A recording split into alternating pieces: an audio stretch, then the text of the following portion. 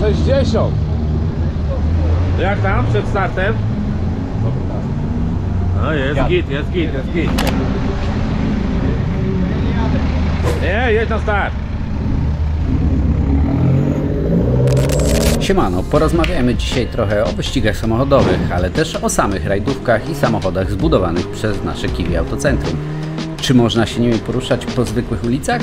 Porównamy też jak dwie prawie identyczne BMW 120 w dieslu z naszego teamu radzą sobie w tych konfiguracjach.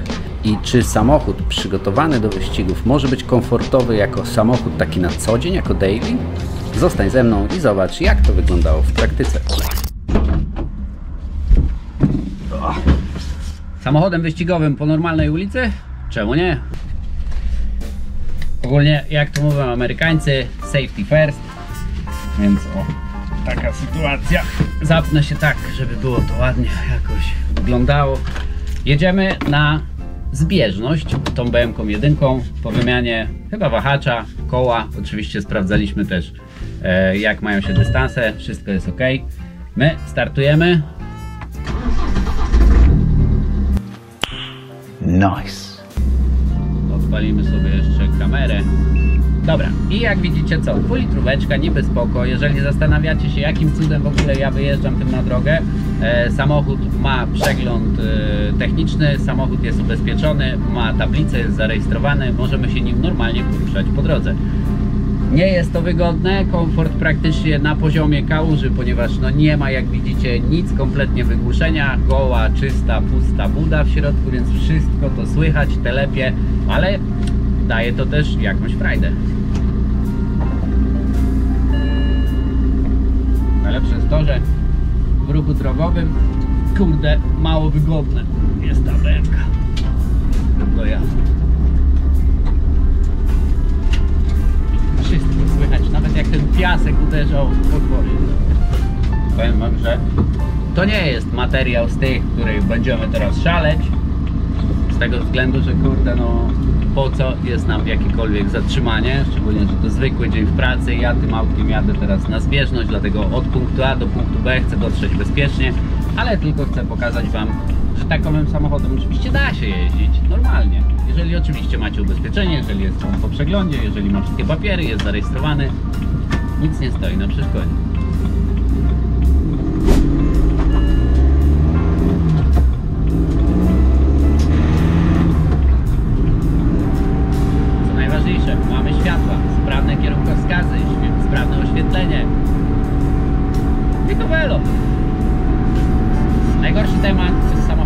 To jeżeli już masz się poruszać gdzieś po mieście, bo możesz, głośność. Jest to tak głośno, ale to nie jest samochód do jazdy na zakupy, do magnolii, tylko samochód do opalania go na torze i do robienia czasu.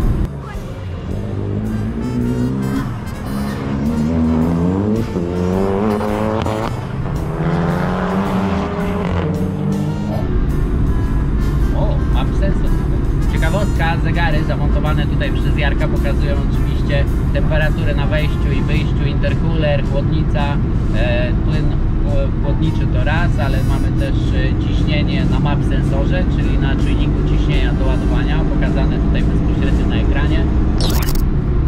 Tutaj 230 koni, 480 Nm. W tym momencie standardowa dwulitrowa jednostka N47 D20C. 177 koni seria, czyli fabrycznie. Na tym, je, na tym modelu tutaj nie mamy robionych żadnych upgrade'ów oprócz intercoolera, który jest zmieniony na wagnerowski razem z okablowaniem, jeżeli chodzi o układ walutowy powietrza. Ja czuję się jak debil, bo ja jestem pracownikiem Kiwi Autocentrum, nie jestem mechanikiem, tym bardziej nie jestem kierowcą wyścigowym, więc też musicie brać poprawkę i patrzeć przez pryzmat e, mojego braku doświadczenia. W ogóle śmieszne, jeżdżę autem stricte sportowym, a jeżdżę 70, 80, 60, 50 na godzinę w mieście. No ale materiał chciałem Wam pokazać, że ten samochód jak najbardziej może uczestniczyć w takim zwykłym miejskim ruchu.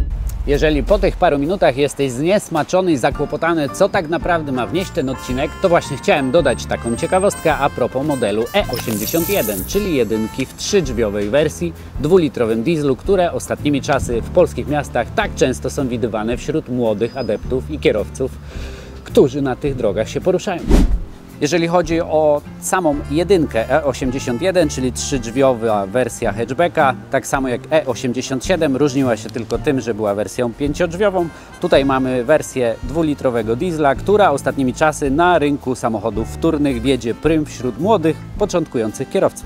To bardzo fajne, zgrabne, miejskie autko, ale to autko bardzo sprawne z napędem na tył, dlatego też dla młodocianych kierowców jest to taka powiedzmy wersja pierwsza na ich pierwszy samochód. Bardzo polecana, bardzo ostatnio eksploatowana. Po drugie w silniku dwulitrowym w wersji 143 koni bądź też 177 jak w przypadku naszych samochodów wyścigowych.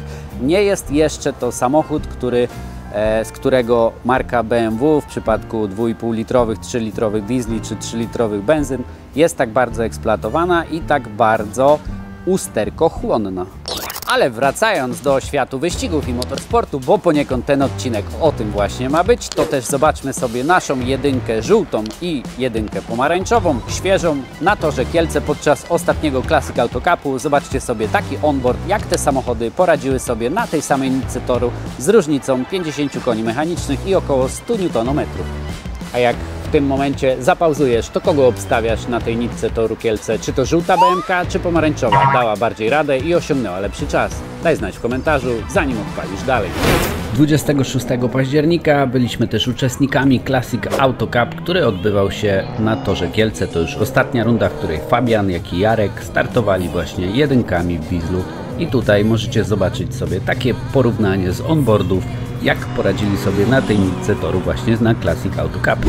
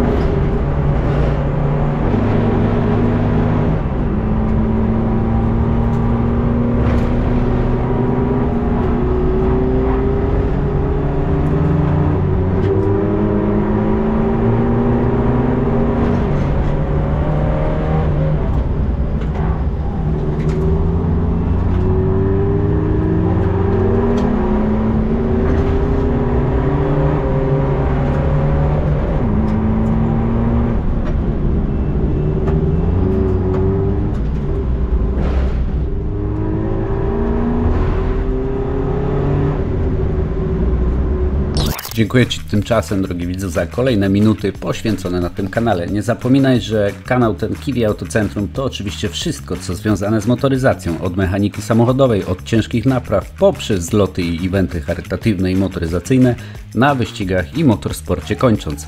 Tymczasem, jeśli mogę Cię prosić, zostaw lajka i subskrypcję, żeby nie ominęły Cię następne odcinki, jakie planujemy na ten kanał. A tutaj masz dwie playlisty, dzięki którym też zobaczysz poprzednie nasze materiały. Wąski z tej strony odmeldowuje się jak co tydzień i do zobaczenia niedługo.